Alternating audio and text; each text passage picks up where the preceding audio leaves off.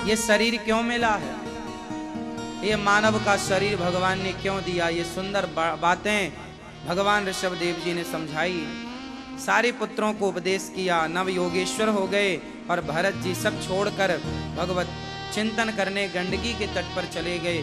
भारत नाम के एक भक्त थे, जो भगवान ऋषभ देव जी के बड़े पुत्र हैं। गंडकी नदी नेपाल में है वर्तमान में। गंडकी के किनारे वो भजन कर रहे थे। नारायण श्रीमन नारायण का जाप श्री भरत जी कर रहे थे। अच्छा नदी के किनारे उनका मन किसमें लगा था? ज़ोर से। भगवान में। किसमें मन लगा? परंतु एक मृग का बच्चा पानी में बहता जा रहा था। भरत जी ने उस मृग के बच्चे को बचाकर अपनी कुटिया पर ले आए। अच्छा किसी की जान बचा लेना प्राणों की रक्षा करना ये बुरा तो नहीं था। सही काम था। भरत जी ने सही काम किया। उस बच्चे को, मृग के बच्चे को जो पानी में बह रहा था, उठाकर कुटिया पर ले आए। किसी की जान बचाना बुरा नहीं है, पर किसी से ना प्यार कर लेना। आसक्त तो हो जाना उस पर यह गलत है। भरत जी उस मृग को बचा कर ले आए, पर उसको अपने पास रख के कहने लगे, अब तो मृग मेरा है उसको चराएँ, उसको खिलाएँ, नहलाएँ। अब जो भजन में समय जाता था, वो समय जाने लगा मृग में। भगवान के भजन में ना बहुत चीज़ें बाधा बनती हैं। भक्त को चाहिए, साधक को चाहिए कि मन कहीं ना लगाए। जहाँ जहाँ मन लगेगा, वहाँ वहाँ आपका समय बटेगा। इसलिए मन ज़्यादा कहीं ना लगे। आप लोग कुत्ता पाल लेते हो। अब दिन भर आप कुत्ते को ही खिलाते हो।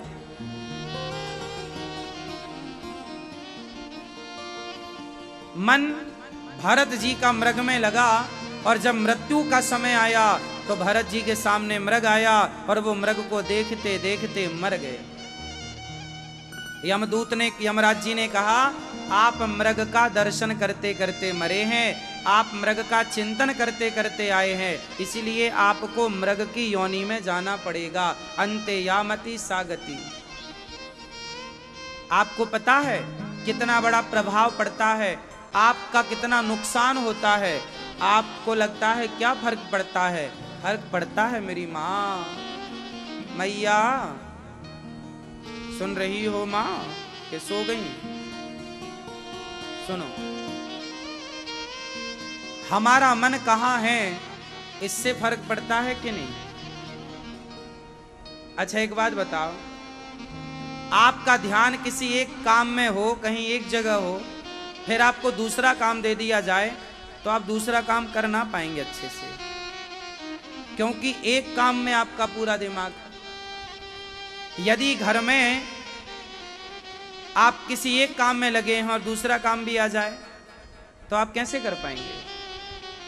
हाँ या ना? बताओ। सही है? कई बार ऐसा होता है कि एक, आप लोग दो तीन काम ले तो लेते हैं, पर दो तीन काम लेने से आप एक भी नहीं कर पाते। इसलिए सत्शास्त्र कहते हैं, संत कहते हैं, पहले एक को पूरा कर लो, फिर दूसरा करना, फिर एक एक करते चलो, निपटाते चलो। एक साथ सब कुछ करोगे तो ना काम बनेगा। हाँ या ना? एक साधे सब सधे तो भगवान में मन लगा लो और परिवार में मन ना लगाओ। संसार जब मरना तो बड़ी सावधानी से। भारत जी ने गलती क्या करी? मृग में दिल लगाया और मृग का चिंतन करते मरे तो उन्हें मृग बन के आना पड़ा। अच्छा कुछ लोग कहते हैं जी, पुनर्जन्म तो नहीं होता। अच्छा बताओ, अगला जन्म होता है या नहीं अगला पिछला? आपसे सवाल कर रहा हूँ, आपका पिछला जन्म था कि नहीं? नहीं पता, क्या थे आप पिछले जन्म में? अगले जन्म में क्या बनोगे? मनुष्य ही बनोगे कि कुत्ता बिल्ली बन सकते हो? क्यों? आप अगले जन्म में क्या बनते हैं? क्या बनते हैं?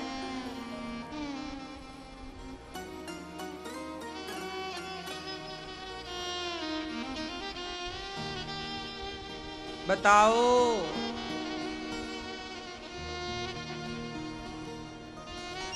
एक सज्जन बोले, नहीं महाराज, हम तो मनुष्य हैं तो मनुष्य ही बनेंगे अगले जन्म में। ना। ज़रूरी नहीं है कि आप इस जन्म में मनुष्य हैं तो अगले जन्म में मनुष्य बने। आप कुत्ता भी बन सकते हैं, बिल्ली भी बन सकते हैं, चीटी भी बन सकते हैं, चौरासी लाख योनियों में आप कहीं भी जा सकते हैं। कैसे जाएँगे? कर्मों के अनुसार। आपके कर्म तय करते हैं कि आपको किस योनि में डाला जाए। जो अपराधी होगा, वो जेल जाएगा। बोलो हाँ सारे लोग जेल थोड़ी जाएँगे। जेल वही जाएगा जो जो अपराधी होगा। उसी तरह कुत्ता बिल्ली की योनि में, नाली के कीड़े की योनि में वही जाएगा जो पापी होगा। पाप ही आपका पतन करता है। और जो कहते हैं नरक नरक क्या है? तुम नाली का कीड़ा बन जाओगे तो नरक ही तो है। तुम कुत्ता बन जाओगे तो नरक ही तो है। तुम सुअर बन जाओगे तो नरक ही तो है। अरे मनुष्य हो तो अगले जन्म में देवता बनो, तब तो प्रमोशन है और अगले जन्म में नाली का कीड़ा बन गए। तो ये प्रमोशन नहीं हुआ। आपका आगे की तरफ़ दिन प्रतिदिन आपका पुण्य बढ़ना चाहिए और आपका यश कीर्ति आगे की तरफ़ जाए। आप मोक्ष की ओर जाएँ, भगवत प्रेम की ओर बढ़ें। मानव का शरीर चौरासी लाख शरीरों के बाद मिलता है। मनुष्य का शरीर चौरासी लाख शरीर के बाद मिलता है। अच्छा देखो, आज आपको वृंदावन मिला, आज आपको मानव शरीर मिला भगवान की कथा मिली। अगले जन्म में क्या ये सब संभव है? यदि पुण्यात्मा हो तो संभव है। और पापात्मा हो तो फिर आप कहीं भी जा सकते हो। एक उदाहरण से समझो। मैया, पंचायती मैया, सुन लो मेरी माँ। सुनो। बिहारी जी के गले में सोने का हार है। माना की बिहारी जी के गले में सोने का ज़ोर से, बिहारी जी के गले में सोने का हार है। धन्य है वो सोना जो बिहारी जी के गले से लिपटा हुआ है। धन्य है वो हार जो बिहारी जी के गले से लिपटा हुआ है। पर क्या हुआ कि उस सोने को, उस हार को पुजारी जी ने बेच दिया, दे दिया किसी को। फिर सोनार क्या करेगा?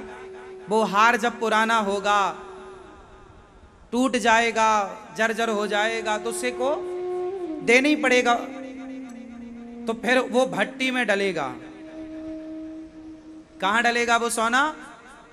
भट्टी में डलेगा और उस सोने का एक नया आभूषण तैयार होगा।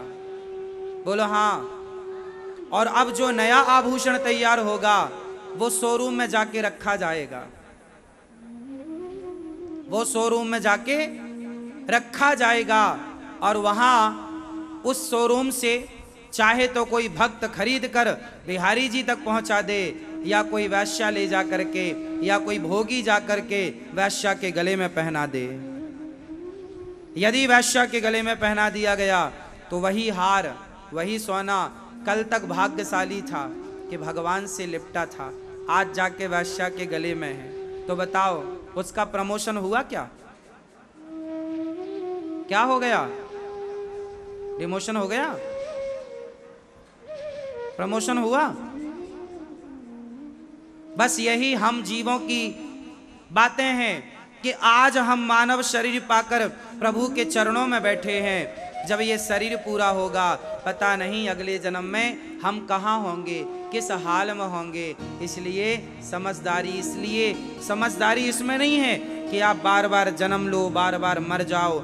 समझदारी इसमें है कि ये जो हमारा शरीर है, अब ये अंतिम होना चाहिए। आप फिर से जन्म लेंगे तो क्या भरोसा कि आप फिर ऐसा सत्संग पाएँगे, धाम पाएँगे, भगवान की भक्ति पाएँगे? पता नहीं कल को कैसी संगति मिलती है।